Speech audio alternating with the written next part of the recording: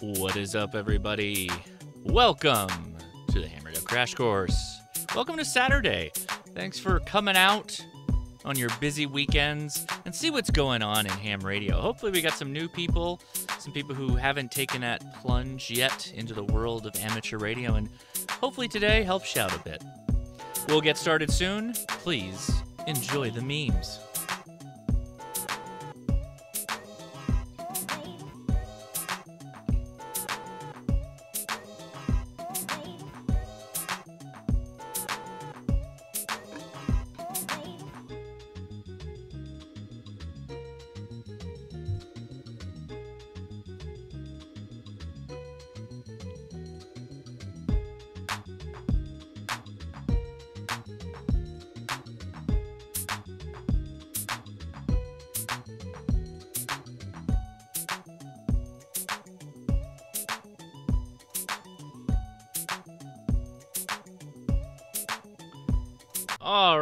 Everybody. How's it going? Thanks for clicking on the channel, clicking on the Ham Radio Crash Course. I appreciate it.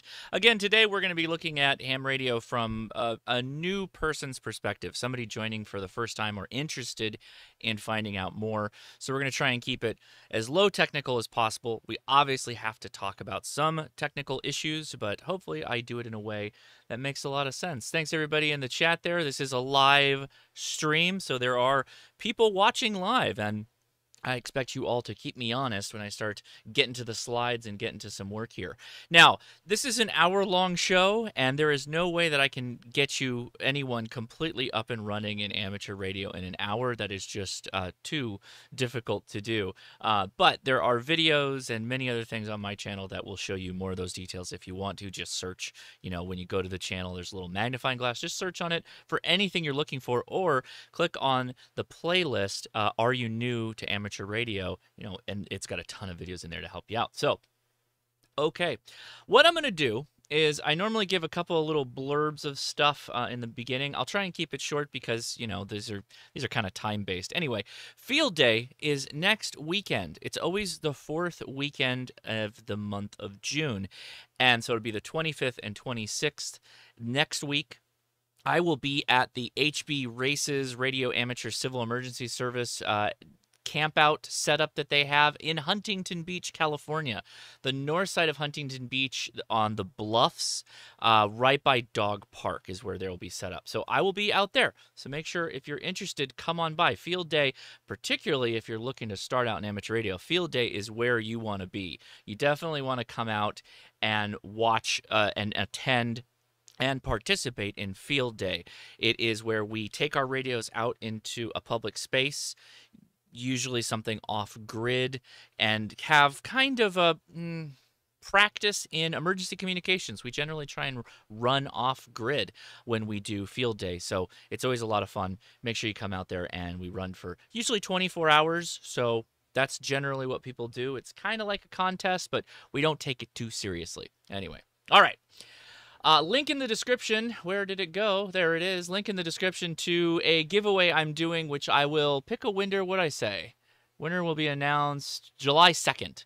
So July 2nd, we'll announce a winner for the HRCC uh, giveaway that I'm doing, which is for one of the uh, GP7 shortwave radios actually a lot more stuff too. CountyComm sent me a bunch of boxes of some loot and a lot of it i already own and some of it i just would rather send to you all. So that's what we're going to be doing. We're going to do a giveaway stream on the second which is a saturday. Okay all right, let's dive right into this. I know you were uh, wanting to get started in amateur radio, or some of you might be, and so we'll we'll keep this topical and to the point, and we'll have a little chit chat at the end.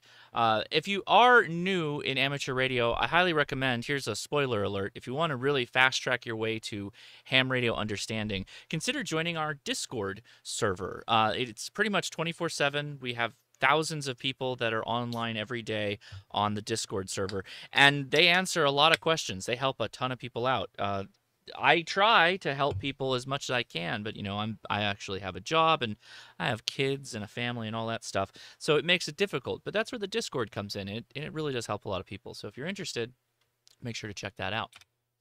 All right, so if you just got your license, congratulations. There's the first thing. So cheers to you all for getting your license. If you have no license, what is all this? And, and want to know what this is about. Appreciate you watching and uh, sticking with us. All right. So, what is radio?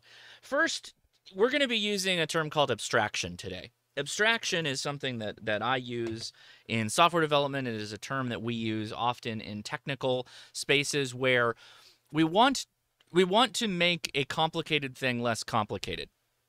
If a box does a very inside this box is a very complicated design, circuitry, components, etc., etc. We abstract this box to just call it a black box, for instance. And that abstraction just allows us to focus on what the box does, right? We're not worried about what's in the box. We're not worried about how the box functions right now. We just want to know what the box does. So, what is radio? We're going to black box it a bit. We're going to abstract away what a radio is, what a radio does. What is it? It's a box that's transmitting energy. It is transmitting energy out of the antenna. Another box can receive that energy and take that energy and produce information from it. The information can be voice, it can be data, it can be little flashy lights, it could be whatever, right? Radio is just a way of sending energy over the air wirelessly to be received by another box that can receive that energy and do something with it. So if I hold up a handheld ham radio, key down and start talking, the information that my radio is transmitting is my voice. That's the information that's being transmitted. So if you start to abstract away some of the complexities in radio, it makes it a bit easier. In this case, it's a black box. It sends energy or receives energy. Kind of keeps it simple that way.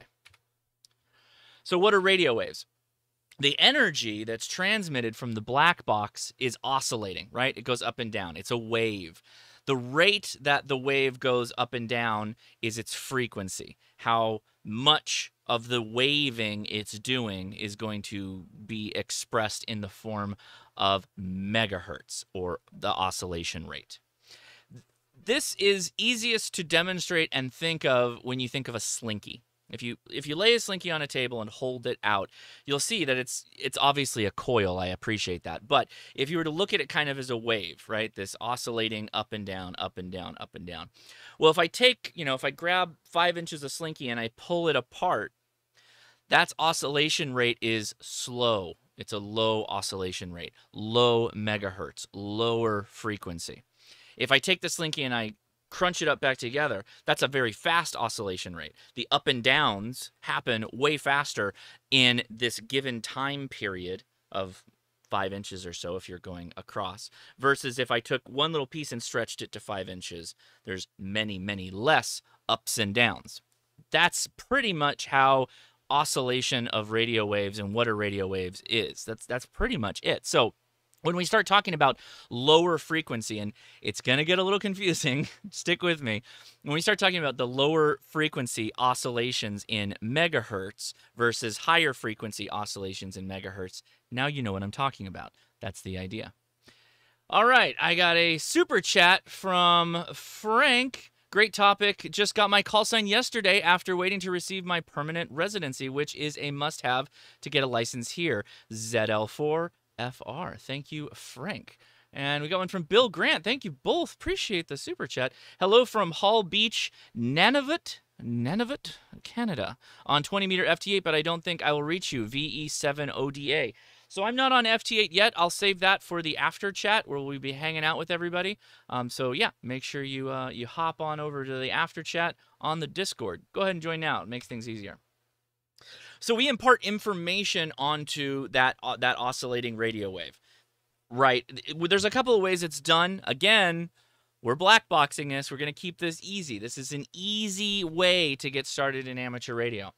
Our radios can take information like voice, like I already said. I'm talking into a radio. Yes, I am. And it's transmitting out via RF or data, and it modulates that onto the wave and the antenna, and the, the energy is pushed out of the antenna. That's basically what's happening. If another radio picks up that energy and is using the same mode of operation, then it will be able to reassemble that information, if you will, and play it out to you or play it to your computer appropriately. That's pretty much all that's happening from an abstracted sense. Now, we're not talking about how it's done, we're just saying what is done, and focusing on the what is very important.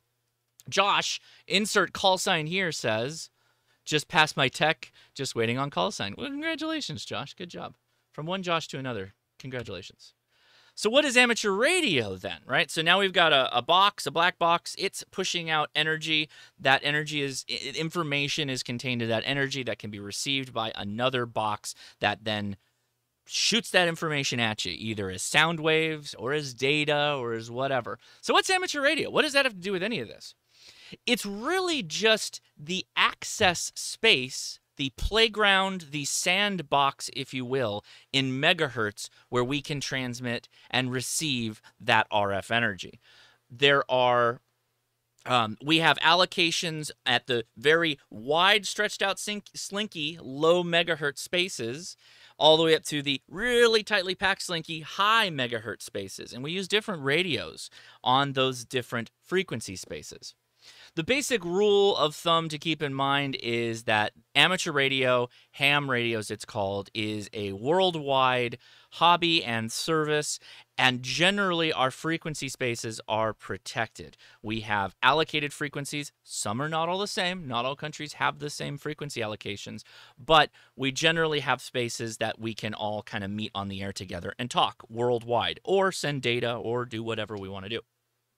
There are more rules that are going to be country by country based in case you're in the United States, the FCC, or your country's governing body. But the core idea is that amateur radio is sectioned off frequency spaces for radio amateurs to transmit and no one else. That's the idea.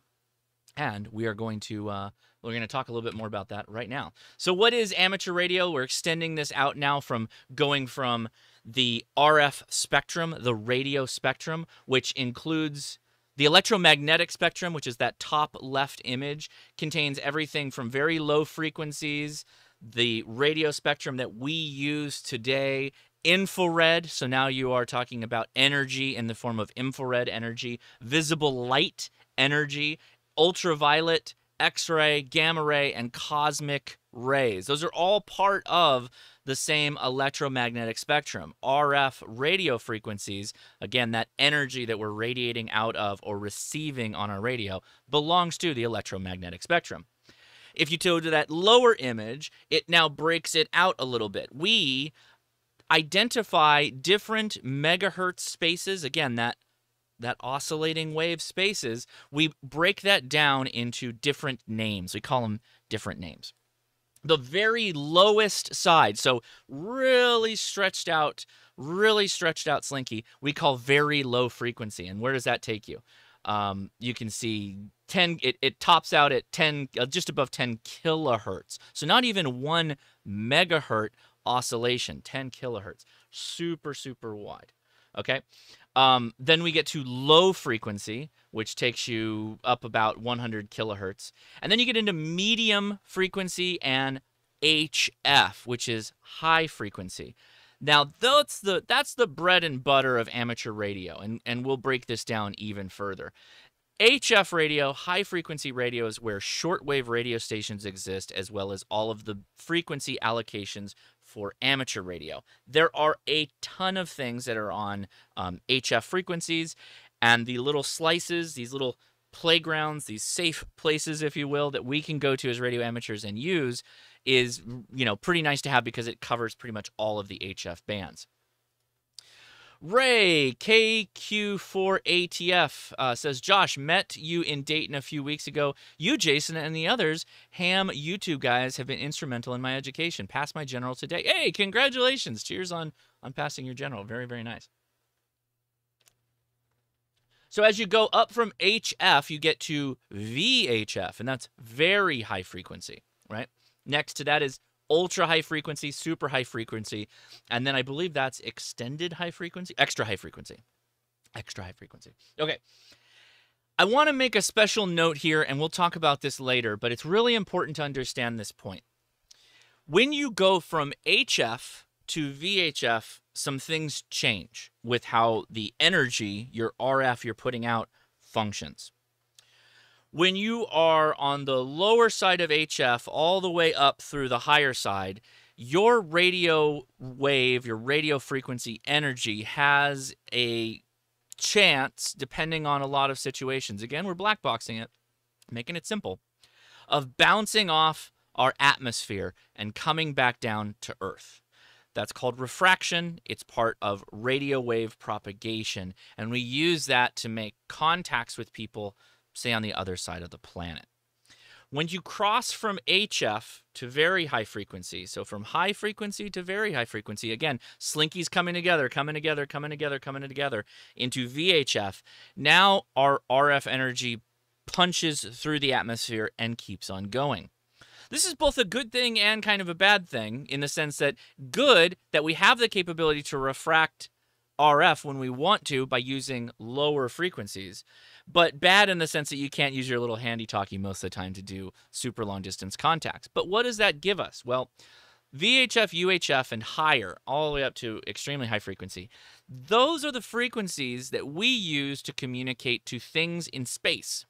Having an atmosphere bounce your RF back at you is not conducive to communicating to satellites, the ISS, whatever. So, we always make sure to use, because you have to, uh, VHF, UHF signals for when we're doing amateur radio satellite or talking to the ISS, what, what have you. So anyway, that's uh, that's just a little bit of talk there on how and what the radio waves are. And you can see that expressed in that little rainbow section. You can see infrared is at the end there. Once you get past 100 gigahertz, you start getting into infrared energies and visible light versus RF radio frequencies. And yeah, it's part of the same spectrum. Breaking this down now, going back to where are these little parking lots of RF spaces that are allocated for ham radio? Well, I generally break them up into two ways. ICOM apparently does too. They break it up into the VHF UHF space and the HF high frequency space. Now, this is uh, this is most of them, not all of them, but I, I'm putting this here for a reason. The leftmost image is the amateur radio VHF UHF band plan. That is the frequency spaces, and you can see it, right? Nine uh, here on 33 centimeters, it says 902 to 904 up to 928 megahertz. And if you go down to two meters, which is the two meter band as we call it, it starts out at 144 megahertz and goes up to 148 megahertz. Okay. So these bands 23 centimeters 33 centimeters 70 centimeters 1.25 centimeters 2 meters and 6 meters are um, completely open accessible to all amateur radio licenses here in the us it varies in other countries but generally all the vhf uhf bands are completely open for any of the levels of licensing that we have in the united states. So that's good. On the right hand side though things are a little bit different when you look at HF, high frequency radio, not all of the bands are available to all of our license levels. And we'll talk about license levels in a little bit. But I want to show you and, and give you a good understanding of what we're talking about when we're talking about megahertz. So if you go back to two meters, what do we say? Two meters is 144 megahertz uh, up against 148 megahertz. So that's the bookend space. If you take your radio and turn the dial and go from 144 to 148, that's two meters. The closest high frequency band in megahertz, again, stretching that slinky out, is going to be 28 megahertz on 10 meters through 29.7 megahertz. That's the 10 meter band. 10 meters is generally best during high solar sun cycles, which is an 11 year process that we're going through right now. The high solar sun, or the high, um, the energy of the sun having lots of sunspots produces more ionization that hits our atmosphere and energizes our lower layers of our atmosphere, which makes 10 meter more effective. And 10 meters really good right now. Yay, it's a good time to be a ham. You start going up in meters. So from 10, we go to 12, from 12 to 15, 17, 20. That's the length of that slinky stretching. The the one full oscillation from peak to peak peak valley peak is stretching out and getting longer and longer and longer. It's lower frequency, right? So when you get to my favorite band, or one of my favorite bands, 20 meters down here, we've gone from now 28 megahertz on 10 meters down to 14 megahertz on 20 meters. 14 megahertz up to 14.35 megahertz. That is the frequency range for 20 meters. I highly recommend you get and download a band plan if you are a ham radio, um, if you are a ham radio license or ham radio curious and are interested in potentially getting a license, go download a band plan and have it available. Print it out, keep it with you. It makes things a lot easier for reasons that we'll probably talk about a little bit. So we call these spaces, right? Look, going back a step, we call them the bands. Why do we call them the bands? Because they're expressed in meters bringing back the slinky. Again if we say seven meters we can go back up and look at that. Seven meters where's uh sorry seven Sorry, megahertz. Could you say that again? no. I'm having trouble hearing you. why? Um 40 what did i say 70 and he thought it was siri? That's probably what happened. 40 meters here is 7 megahertz and it tops out at 7.300 megahertz. But we still call it 40 meters because that again that slinky has been stretched out to 40 meters oop wrong way so i might have wrote this wrong uh so stretch a slinky to that should be uh, 40 meters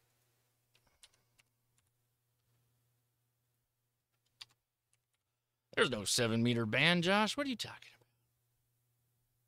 There you go. so stretch a slinky to 40 meters, one oscillation. That's the length, the physical length of that wave. So if I'm operating my radio on 40 meters, that is 70 me- or 7 megahertz. That physical RF representation is a 40 meter RF wave. So if you understand these concepts, then congrats. This is the basis of of radio. In in most situations, this is basically how this all works, right? So if you got that, congratulations. If not, um, take some of those terms that I talked about that you may have issues with and Google them, or join the Discord that I have. The Discord link is in the description. There are a lot of people that'll answer your questions and uh, or comment right now. Okay. So I mentioned licenses. What's the licensing about? So ham radio in pretty much every country where ham radio is a thing and allowed, there's a licensing process. I'm not defending it at all. In fact, there's a whole slide just on talking about it. But the thought is is that other radio services, right? If we look at GMRS and FRS in comparison to amateur radio, there's some huge differences. Two of the big ones other radio services, and let's just take GMRS, right? GMRS is is super popular right now, and and it, it deserves to be. It's it's good. It's helpful. It's useful. Not as useful as ham radio though. Why? So GMRS is a channel-based radio service. There are 20 something channels. You take the radio and you go channel 1, channel 2, channel 3, and you can hit scan and scan around the channels and that's what you do channel the the GMRS radios generally are um, upwards are in the UHF frequency spaces, so closest to amateur radio 70 centimeter band. Amateur radios and, and most HTs that most hams have are dual banded, so you get 2 meters and 70 centimeters. Whereas GMRS is just one band. It's channel locked and it's band locked. So if they don't seem to work for you at that time or, or you're not able to do what you need to do, that's it. Choose a new service. Get on CB, get on FRS, get on whatever. For most people, it's fine. They, they take it off road. Um, they use it for being in a campground. They use it when they're on a hike. Not a big deal. Um, but, but, um, do keep in mind that the other radio services are channel locked frequency locked to specific bands. And that gives amateur radio a lot of latitude because we can just pick up radios that work on different bands. If we want that bouncing our RF off the atmosphere, we get an HF radio, and there we go. If we want to talk to the satellites or just go on a hike or whatever, we can use a radio like the one that's there on the left, and it works just fine. That radio is um, 70 centimeters and 2 meters as well. So you get both bands for the different capabilities that you may need. And why would you want different bands? Well, they all perform a little bit different. They all have a little bit of uh, different functionality, different capability than just one band. In this case, two meters generally for me has done pretty well. Goes a bit further. 70 centimeters works a bit better in like a congested suburb environment. That's generally my experience.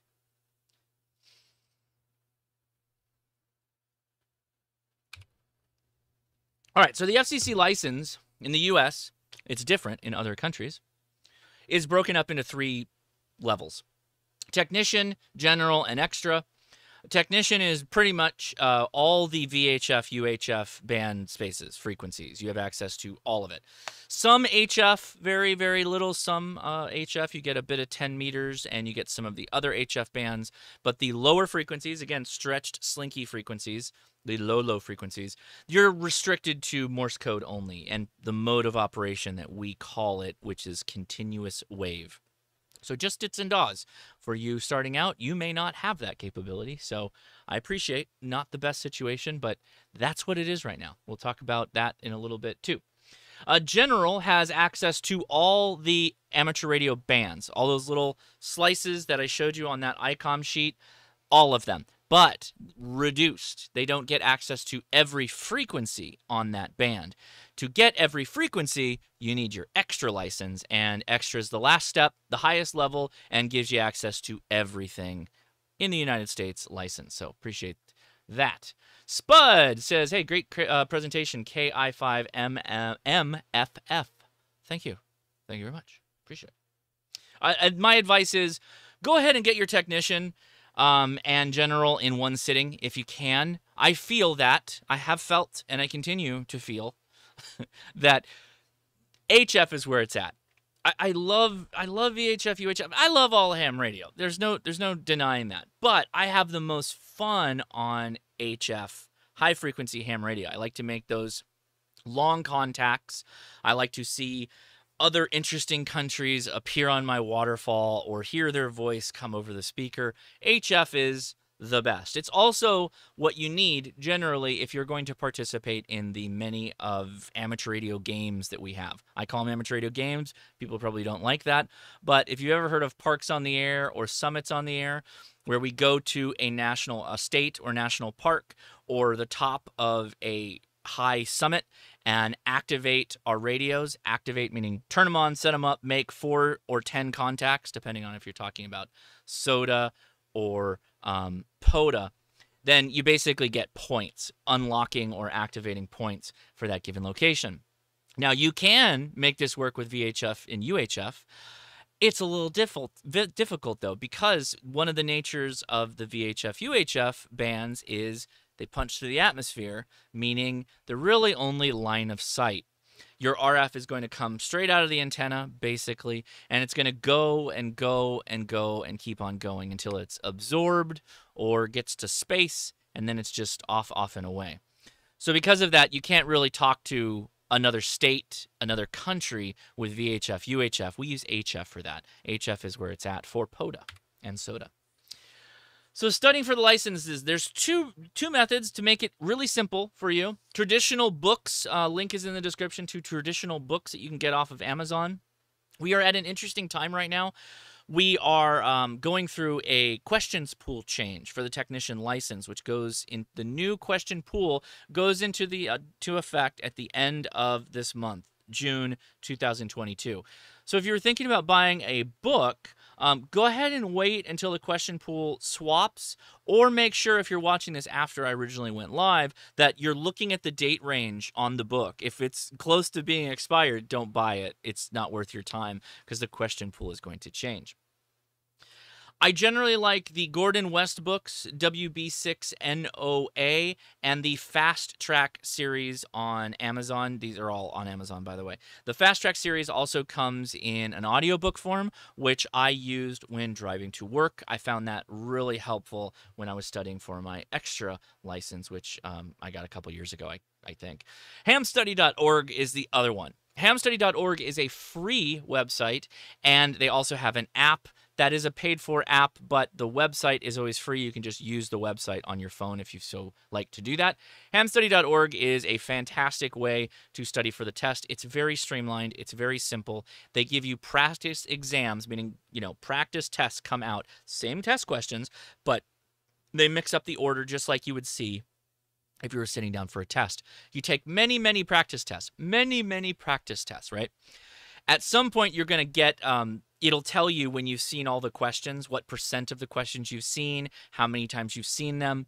And it'll start telling you which sections of the test you're not that good at. And those you can then target using the website to show you the sections or subsections within the test that you need to spend more time on. I know uh, there's, yeah.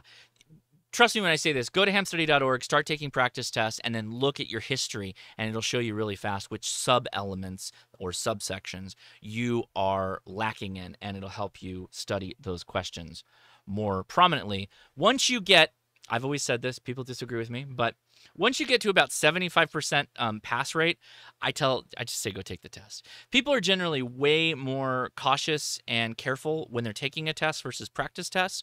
So if you're getting a 75% on practice tests where you're kind of just blase on the toilet uh, in the morning, whatever you do, uh, you're probably going to do just fine when you take the live test. So keep that in mind. All right, so how do you get your license though? I just said how do you study? How do you get your license? Uh, there's there's a couple ways to do it you can still test in person, which was the way I did it. I guess the old school way. Back in my day, we had in person testing and we liked it. And then COVID came along. And now we have online testing, which frankly I think is a, a great idea to do online testing. So, two links here. If you go to Google, by the way, we're going to talk a little bit about Google too when we get going here a little bit further. If you go to, a, if you just type in ARRL, find a test you'll find a link to a uh, web form that you can just say here, you know, where you're at and say, okay, here's all the locations of testing sites for getting your license.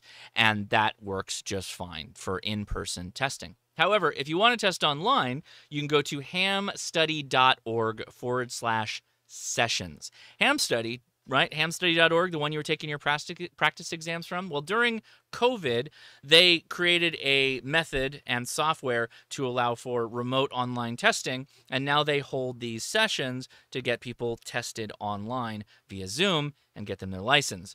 I highly recommend, if you can swing it, test online if you want your license very quickly. The FCC has gone paperless, mostly paperless for as much as what they can do. If you test online and pass, you'll have your license within a day or two. Some people have got it same day, which is absolutely insane because I think I waited two weeks or something like that. Back in my day, I waited two weeks. Here's a big, big, big, big, big, big, big, big one. Um, if you are someone who has heard about or has concerns of people knowing your address when you become an amateur radio operator, you need to go get a PO box before you take your test. Before you go on the FCC's website and create an FRN number, you need to go get a PO box. Then you use that PO box as your home address for the FCC to send you mail, which they seldom if ever do. And that will keep your PO box as your home address versus your home as your home address when people look up your call sign. That is the only way to do it uh, most effectively in the United States. Make sure you do the P.O. Box thing for sure. And do it before, before you create an FRN number and attach all this info to the FCC before you get your license. Has to be before. All right, so now you're saying, wait, there's a test? Why is there a test? Why? Because I'm going to answer these questions that I get all the time. Now, I'm not being an apologist. I'm not defending the FCC. I'm not defending all the other countries that have tests. I'm just merely trying to explain why it exists. Given the free and open nature of amateur radio in comparison to other services, right? What were we talking about earlier? GMRS, FRS, the, the baby brother of uh, GMRS. Those radios are locked to a band and they're locked to channels and they don't have a keypad and FRS has a antenna that is permanently affixed to the radio. They are consumer goods. They are consumer products. They are not there to necessarily further or advance the technology of radio um, or do many of the other things that we do in amateur radio, right?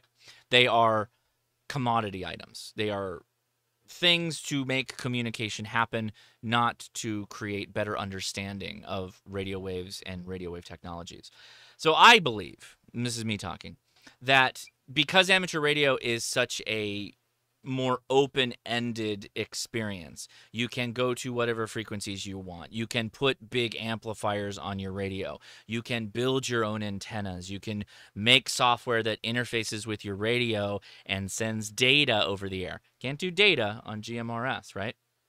Oh, you can a bit, but you know what I mean. You're not sitting there doing chat room stuff um, with your GMRS radio. So the gatekeeping, at least I believe, the FCC is, believes that there needs to be some kind of gate, some kind of barrier, something that helps to protect the quality of the ham radio bands. They believe that it's this test and the levels of the test. And particularly when you go from technician to general, the general test is a bit harder than the technician. Why? Well, HF, one can argue, you are now potentially affecting many, many more people if you run awry with your signal or start doing some bad actor type stuff. So that's part of the reason for that. Um, I'm not sure how to verify this is true or not, but that is what people believe that this that we have to have a test to instill this baseline knowledge in people's brains and they'll just remember this forever and they're trained up and they can be effective radio operators. Me personally I don't really believe that. I think that um I think that it's a speed bump and the speed bump once out of the way, the real learning starts. You can't convince me of otherwise because you're not in my brain and you know you don't know how my brain works. So uh, a lot of what I remember from the test is not the stuff that I want to remember from the test. So I'm still grabbing catalogs and textbooks and searching online to relearn those things when I'm sitting down to like look at a circuit, for instance. I remember most that stuff. And if you do, good for you, but most people don't. So, advice knock the test out, just get it out of the way. You learn more doing than not. So, uh, that's what I recommend. If you disagree, that's okay. These are my opinions. You can disagree with them. If you want to spend six months to completely and fully understand every license uh, question, more power to you. If that's what you do for fun, cheers. I want to be on the radio, so I recommend uh, you just take the test if you want to be on the radio too. So you got the license in hand. Now what? Generally, I and I've I've got thoughts on this one too. New people to ham radio generally seem to gravitate towards VHF UHF radios, right? They're relatively inexpensive. You put the antenna on top, boom, there you go, start talking. Pretty straightforward people generally go into one of two directions. They'll get themselves an HT, um, or they'll get like a mobile radio because they're out in the sticks a bit. They can't hit the repeaters with an HT, so they need to use a mobile radio, right? All that stuff, you know, great, more power to you. I think most people started with VHF, UHF. Most people, most people. These operators are generally working at the higher frequencies. So Slinky, compressed Slinky high frequency stuff, line of sight stuff, which can be fun. That's where you get access to satellites, right? FM satellites, the linear, linear satellites. Uh, but it's also geographically limiting, I find.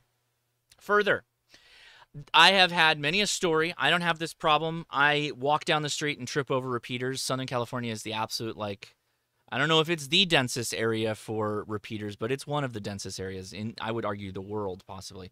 Um, anyway, so um, you could live in an area where there's maybe only one ham club and, and maybe only one repeater, and you may not like the people on that repeater, and you may not like the topics of discussion they have on that repeater. Well, if that's where you live and your radio can only talk around where you're at at any one time, that's kind of limiting, right? So that's why, again, I recommend if you can get closer and starting out on uh, HF. With some rare exceptions, VHF, UHF transmissions are all line of sight. They're only what you can see. A little bit further, but you get the idea. So I recommend, again, starting out, the, the fast track, the smoothest path to getting started in ham radio. I recommend everybody go do this, by the way. Um, go get yourself a an SDR dongle of some kind. And if you don't want to buy one, I get it. Don't want to put up an antenna, that's okay. Link in the description to the Kiwi SDR online software, software defined radio database. It's basically a website that is the interface for a radio. And you can see the radio frequencies scroll up or scroll down on the waterfall. And you can get a complete understanding of this whole parking lot mentality of here's one space in 40 meters for amateur radio. And then look at that, just a little bit below it, that's the shortwave broadcast stations. And okay, cool, let's go look at five thou- 500 um sorry 5 megahertz 5 megahertz that's wwv the atomic clock out of uh, colorado right you can see all that within SDR online, Kiwi SDR or Web SDR, whatever you want to use. And it'll give you a much better understanding of how radios work and what's going on with radios by actually doing, listening to it. And it's free. It's totally free. So links in the description. But I do recommend the um, the the Nooelec SDR, that top dongle, if you're on a budget, and highly, highly, highly recommend SDRplay's line of SDRs. I am unaffiliated with any of these companies. I will mention though the links in the description to any of them is an Amazon affiliate link. If you find this helpful and you want to give back a little bit, use my link. It does help out the channel. Doesn't cost you anything else. But hey, appreciate it. Thanks. Okay. Um, these SDRs are super useful for lots of things too. I use them uh, when I do my antenna testing, when I go to the park. SDRs are the key to making that work and tells no lies. SDR tells no lies. It tells you exactly the power of the signal that it's received. They work beautifully. I love SDRs. Everybody should have them. Oh, and uh, go watch my video on uh, using a cheap Android tablet. You can interface the SDR dongles with a cheap Android tablet. A $100 Lenovo tablet works just fine. So tip, think like you are on your own with ham radio. Okay, here's here's Josh's hot take. Once upon a time I recommended everyone find a club, and I still do. Find a club, sure. If you find a good club, fantastic. You lucked out. Uh, but what if we pretended we were on our own? What if we pretended we were all our own little island, our own little ham shack floating in the ocean, if you will? How would you find the info you wanted? How would you learn more about ham radio? Right? Some people can learn this way where they do things on their own, they look online for resources, they read books. I think well, some people thrive in those environments. I think everybody, if they assume the mentality that they're responsible for their ham radio career and journey, they will get more out of it and they will grow quicker. So, if you are responsible and in the driver's seat of ham radio, I feel like this is a very good mindset to start out on that you are on your own, but if you join a club, you may have a faster time. If you get an Elmer, it may make that journey a little bit faster and knowledge will come a little bit quicker. All true things, but don't expect it to be the only way. You can definitely go your own. If you can function on your own, then you can answer your own questions. How would you do that, per se? Google your questions, literally. Uh, radio, insert radio name here, set up FT8. Google. Uh, insert radio name here, APRS configuration. Google. Right? Just all that, right? Anything, the keywords. I, I know I this is the ham radio crash course, not the Googling things crash course, but I found that people don't Google effectively. I thought we might have gotten past that, but I think some people have a difficult time with Googling now and then. Keywords are the key points, right?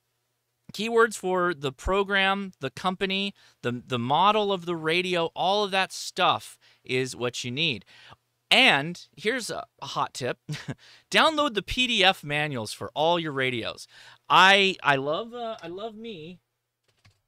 I love me a good manual. So here's my here's my 818. I just bought this in Las Vegas, right? My manual.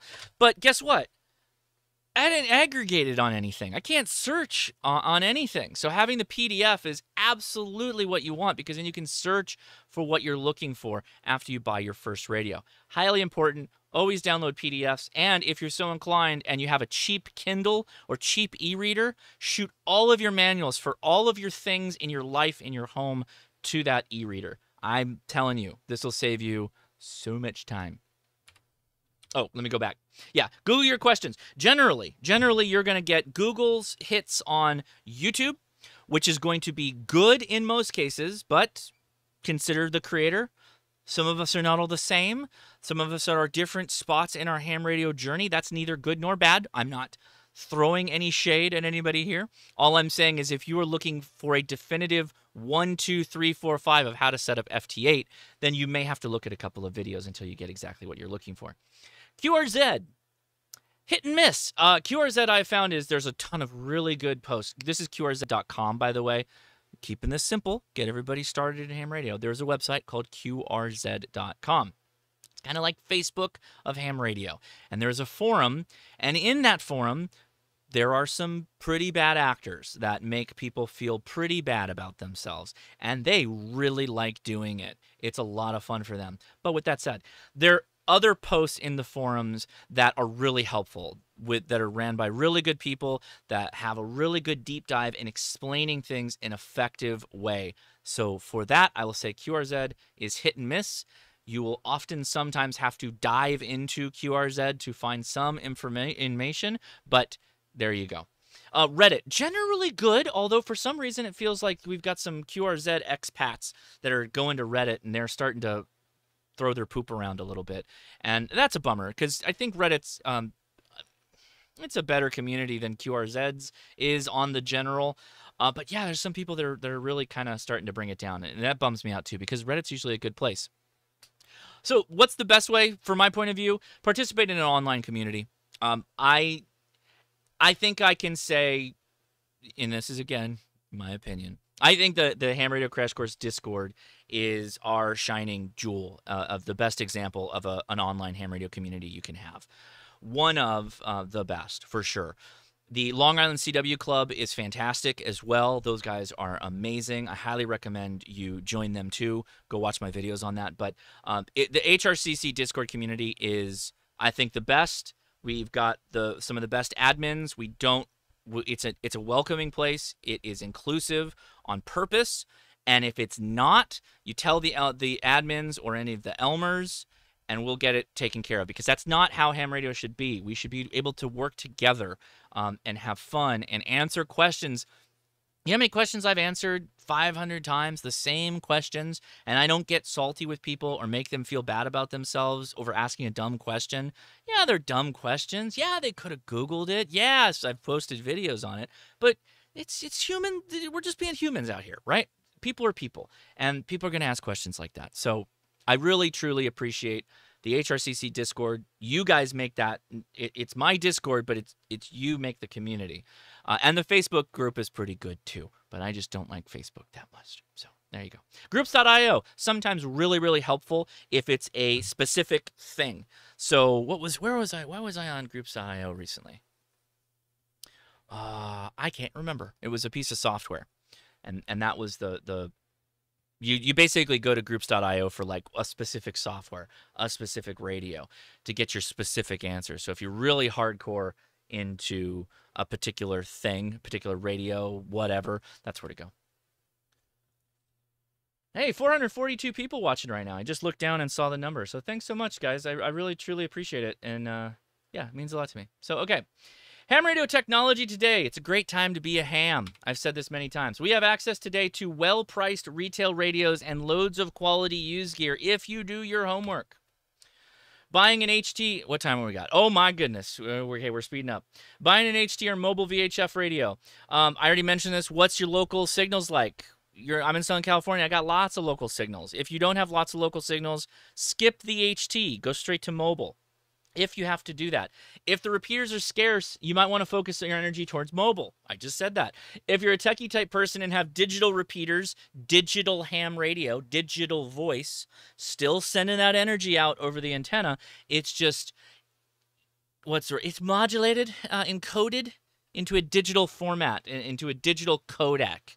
Audio turns it's a DAC, so it's an audio to digital conversion. So audio signal comes in, digital digital data comes out and gets shot uh, out of the, uh, um, the the radio out of the antenna.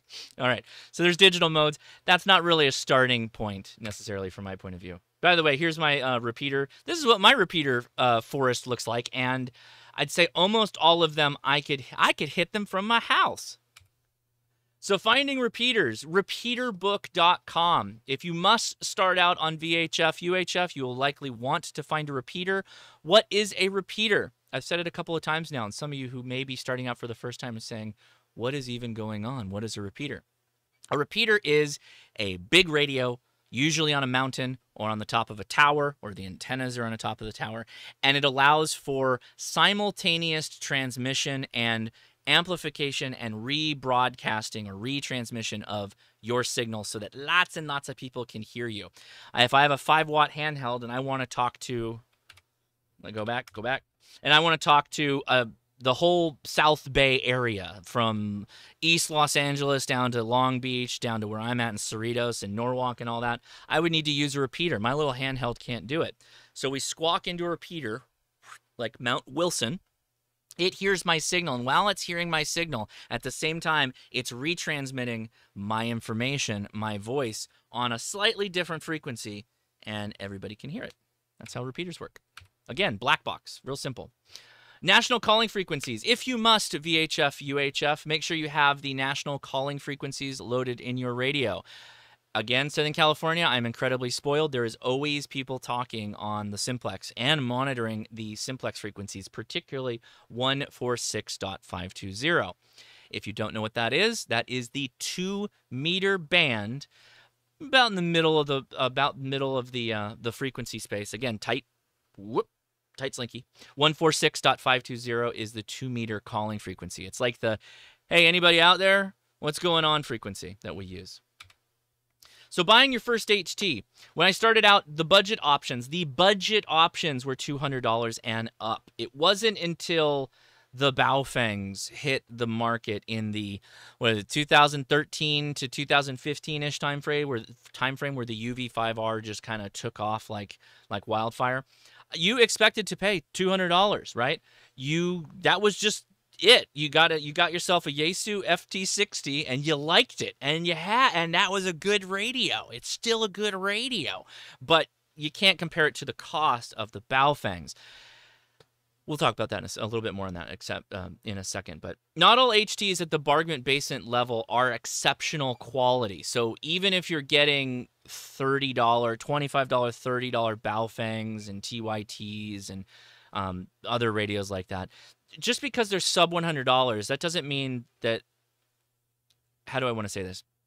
If you paid more than a Baofeng at $25, say you bought one for $75, that doesn't make that a good radio. Okay, just keep that in mind. I highly recommend before buying any HT, even though they're incredibly cheap, that you do some research on them, particularly what it's like to program them by hand for repeaters. Highly recommend that you do that.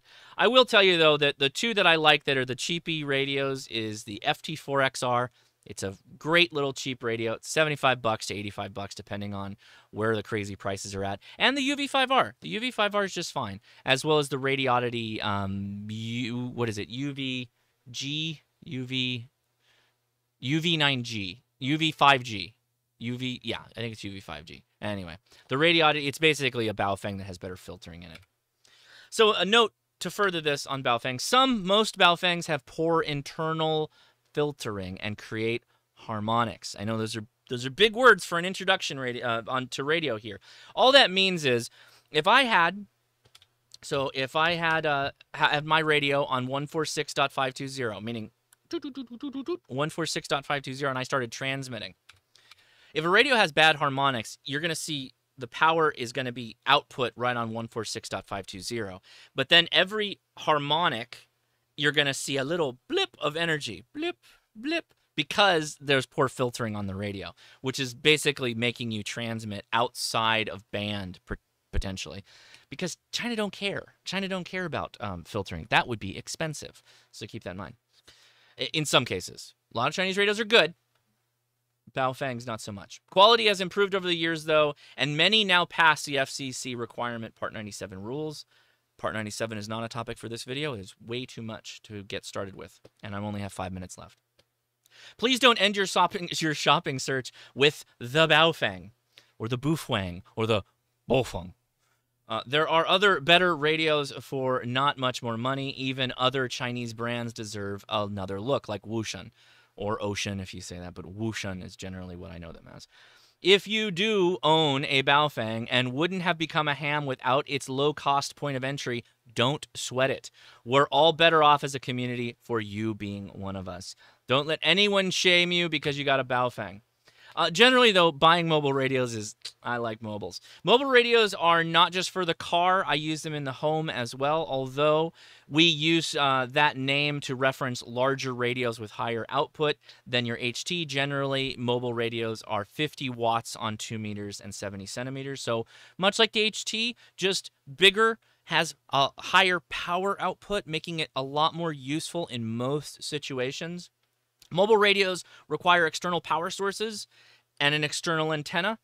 And with a mobile radio, you will be able to work simplex contacts easier. If you hear people on 146.520 or like to monitor it for emergency purposes, like maybe your house butts up to a national forest and you know there are hikers out there, sometimes it's really good to have uh, GMRS radios turned on, HTs, um, mobile radios on National Simplex 146.520 megahertz is really important as well. So my recommendation on starting out for HF. So starting out on HF can seem daunting. There are some tips. We've already talked about SDRs. To be honest, I feel like if you really do spend a little bit of time with SDRs, you'll get a much better idea of what we're trying to accomplish when we talk about getting onto HF radio.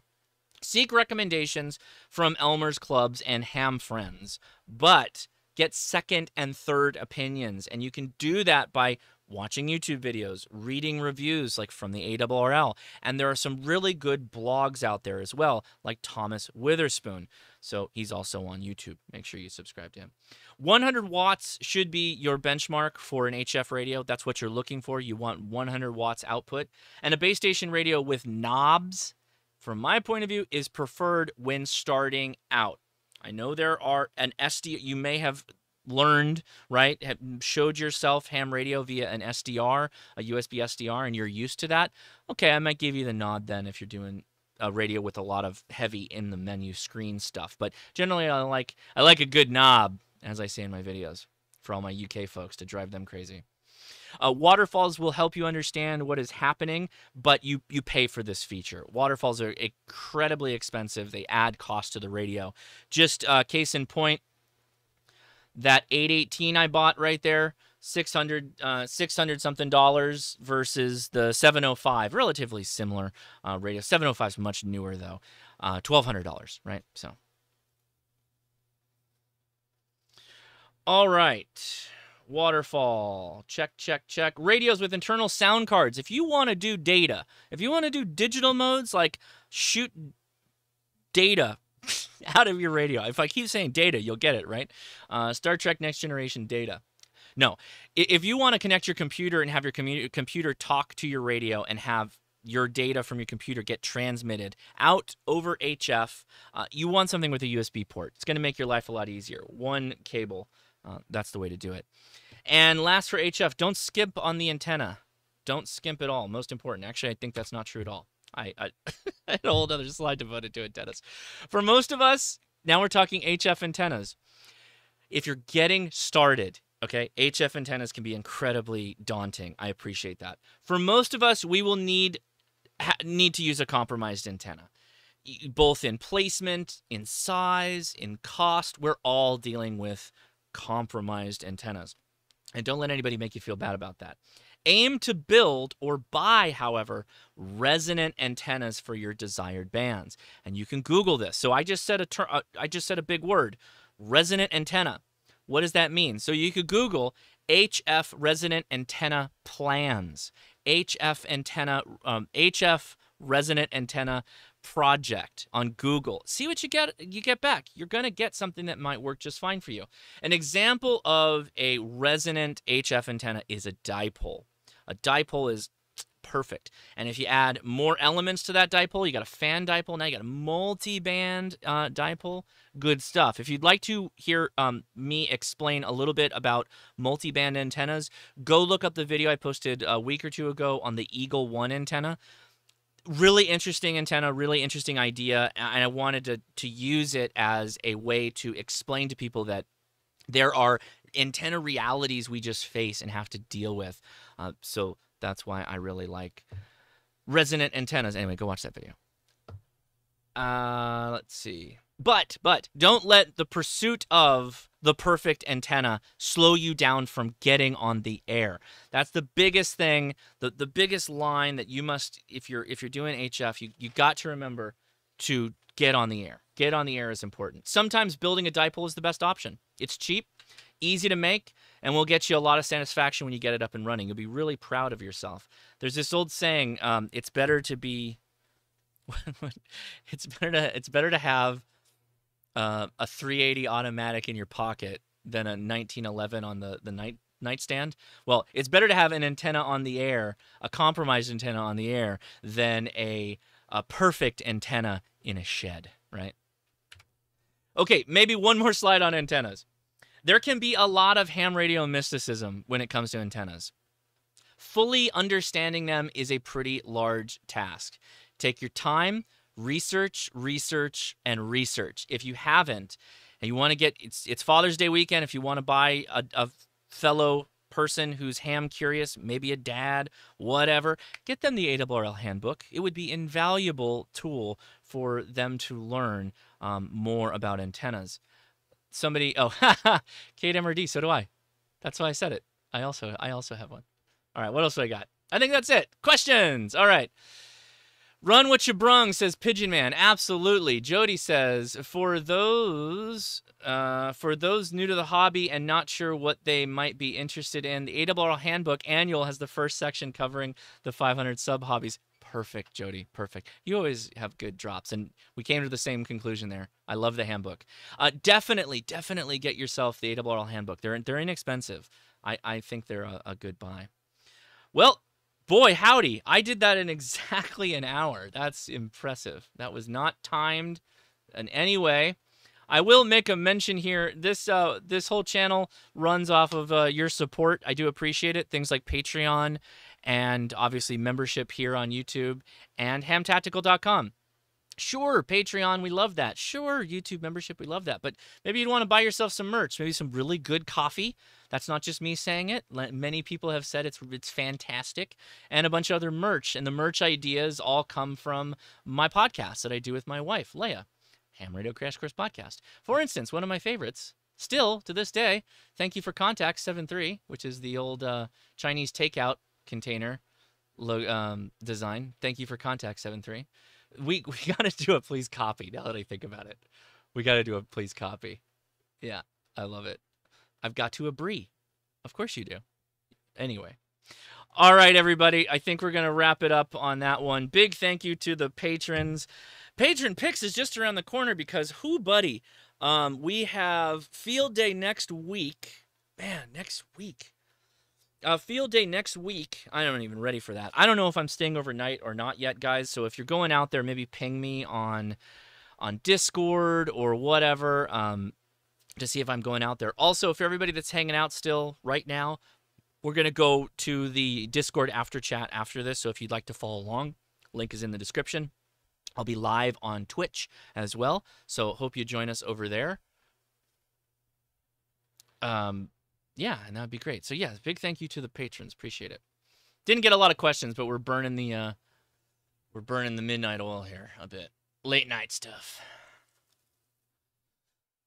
All right.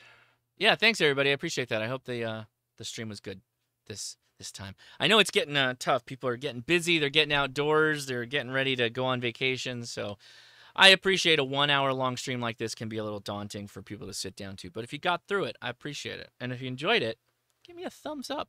Would mean a lot. All right. Hey, the anime. How's it going, anime? And if you follow me on Patreon, um, I'll be dropping the links, um, the slides there, likely tomorrow, sometime this weekend. But it is Father's Day. So, hey, all the fathers out there, appreciate you. I'm sure your kids do too. And uh, we definitely need you to teach your kids and your family ham radio. So get to it, all right?